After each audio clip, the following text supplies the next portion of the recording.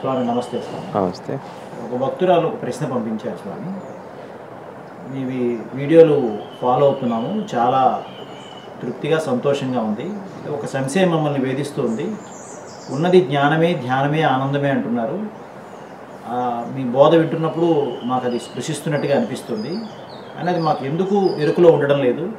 అలా ఉండాలంటే మేము ఏం చేయాలి?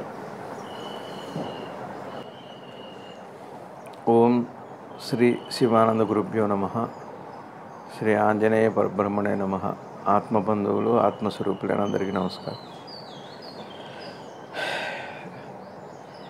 వారు అడుగుతున్నారు ఉన్నది ధ్యానమే జ్ఞానమే ఆనందమే అయితే మా కెరుకులోకి ఎందుకు రావట్లేదు అంటున్నారు.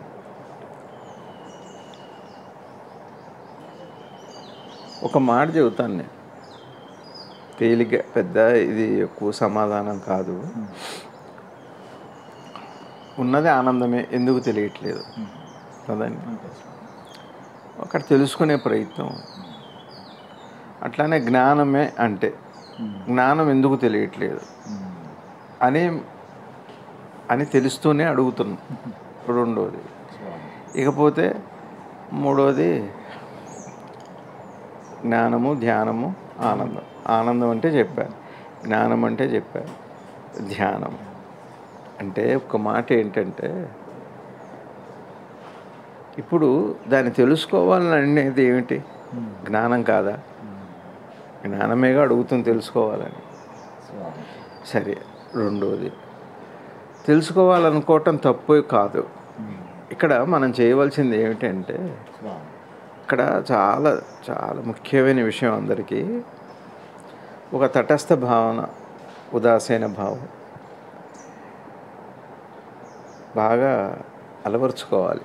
ముఖ్యంగా ఈ ప్రాపంచిక విషయాల ఎందు ఎరుకతో ఎప్పుడు ఎరుకతో వాటి లాభాలాభాల ఎందు ద్వంద్వంలో ద్వంద్వం విషయంలో ఎరుకుగా ఉండాలి. ఏమైందంటే ఇప్పుడు ఆ ద్వంద్వ భావన ఇక్కడ అడ్డుగా ఉంది కానీ ఇక్కడ ఒక భావం అవసరం కాదు అసలు జ్ఞానం కావాలి జ్ఞానం తెలియాలి ధ్యానం తెలియాలి ఎరుకుతే అసలు ధ్యానం అంటే ఏంటి అసలు? ధ్యానం అన్నది ఎంత సహజమైంది? ఇక్కడ జిల్లేడుముళ్ళు అమ్మన్నట్టుగా ధ్యాసే ధ్యానం అన్నారు. ధ్యాసే ఎరుకంటే అసలు. ధ్యాస ఎరుక ధ్యానం. కాబట్టి అసలు ధ్యానం అనే మాట చూడండి జాగ్రత్తగా. ఈ జీవితంలో ఈ బాహ్య జీవనంలో ఏ పని చేయాలన్నా ఎంతో కొంత అలర్ట్నెస్ కావాలి ఏకాగ్రత కావాలి. ఇంకా అనేక విషయాలు మీద ఈ కార్యం కర్మ ఆధారపడి ఉంది. ఫలం. కానీ ఏ శ్రమ లేకుండా అది ఒక శ్రమ కాదు అది ప్రయత్నం కాదు. ధ్యానం అంటే ఇక అప్రయత్నంగా లభించే ధ్యానం. ప్రయత్నంతో లభించేది ప్రాపంచిక ఫలం. దానికి చాలా కష్టపడాలి ఇక.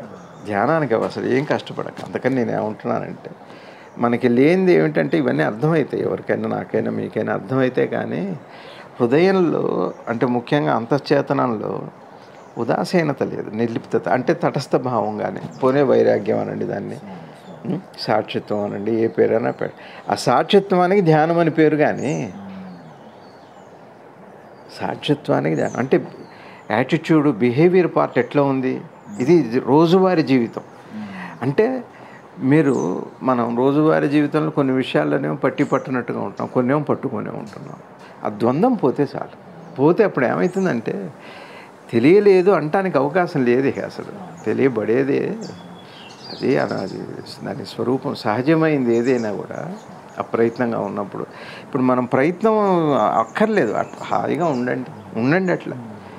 ఒకటేమో హాయిగా ఉండటం రవి గారు. దాని విషయంలో కోరుకోవద్దు. ఈ విషయంలో వచ్చిందాన్ని స్వీకరించండి. రాని దానికి వదిలిపెట్టండి విధికి వదిలిపెట్టండి విధికి వదిలిపెడితే చూడండి నలభై రోజుల్లో అనుభవం కాకుండా ఉంటుందా.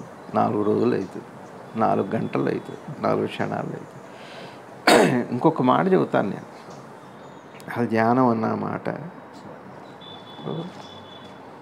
పొద్దున్నే నాకు మెలకు వస్తుంది అని రాత్రి.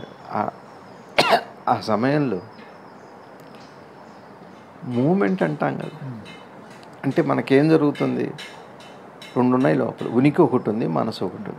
అంటే యువతలకు వచ్చాక మనసు అంటాం కార్యాలు. ఈ ఉనికి ఎట్లా ఉంది మనసు ఎట్లా ఉంది అని చూస్తే ఉనికేమో తెలియబడేది. విషయాలన్నీ తెలుసుకు తెలియ తెలిసి ఒకటి తను తెలియబడుతుంది ఇవి తెలిసేవి. అంటే మొదటి కదలిక తెలియబడేది పోనీ నాకు తెలియదు అనుకుందాం ఏం వదిలిపెట్టద్దు. తెలిసేవి తెలుస్తున్నాయి కదా. ఆ విషయం మనకు తెలియదా ఇది నాకు తెలుస్తుంది ఇది వింటున్నా ఇది చూస్తున్నా అనే విషయం తెలుసు. అక్కడ తటస్థ భావన వచ్చిన పల్లె. అది ఒకటి. అక్కడ అసలు ఏంటంటే మూమెంట్ ఏదైతే ఉందో సర్వం అదే రవి గారు. మూమెంట్స్. మూమెంటు ఆ తర్వాత విషయాలు. ఇది ఒక్కటి జాగ్రత్తగా ఉంటే చాలు. చెప్పేది ఏంటంటే రోజు చక్కగా ఒక నమ్రత ఒక వినయం లేదా ఒక ప్రశాంతత పని తెలిసిన విషయం. అట్లా ఉండే ప్రయత్నం కొద్ది రోజులు. నలభై రోజులు చేస్తే భగవాన్ ఏమన్నారంటే సహజం అవుతుంది అన్నారు. అంతే అయిపోయింది సాధన. ఇక మిగిలినవి మన సంప్రదాయంలో పూజలు పునస్కారాలు చేసుకోవచ్చు దానికి అది ప్రశాంతంగా. పూజ ప్రశాంతంగా చేయండి. పని ప్రశాంతంగా చేయండి. ఆలోచన ప్రశాంతంగా చేసుకోండి. వ్యవహారం ప్రశాంతంగా చేసుకోండి. సత్యం ఎందుకు తెలియదు అసలు? అంతే. అదే మూమెంట్ అండి.